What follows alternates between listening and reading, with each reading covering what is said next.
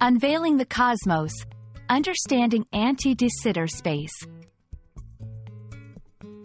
Hello everyone, and welcome to our channel. Today, we're diving into a fascinating concept from the world of physics, anti-de Sitter space. This might sound like a complex term, but don't worry. We're here to break it down for you in simple, easy to understand language. Whether you're a student, a teacher, or just someone curious about the universe, this video is for you. So, let's embark on this cosmic journey together and unravel the mysteries of anti-de Sitter space.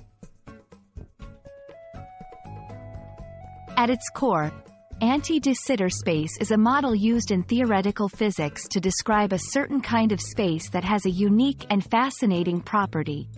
It's curved in a way that's the opposite of the way our universe seems to be curved. Imagine a sheet of rubber that's been stretched downward into a saddle shape. This is a simple way to visualize the curvature we're talking about. But why is it called anti-de Sitter? The name comes from Willem de Sitter, a Dutch astronomer and mathematician, who explored the universe's structure. The anti part refers to the space having the opposite curvature of de Sitter space, which is another theoretical model with a different kind of curvature. You might wonder, why do we care about the curvature of space? Well, it turns out that curvature is a key concept in Einstein's theory of general relativity, which is our best description of gravity. According to Einstein, gravity isn't a force in the traditional sense but rather the effect of massive objects like stars and planets bending the fabric of space-time around them. In anti-de Sitter space, the curvature is negative, which means it bends in such a way that parallel lines would eventually diverge. This has profound implications for how we understand gravity, quantum mechanics, and the structure of the universe itself. Anti-de Sitter space isn't just a theoretical curiosity, it's at the heart of some cutting-edge research in physics. One area where it plays a crucial role is in the ADS, CFT correspondence, a principle in string theory.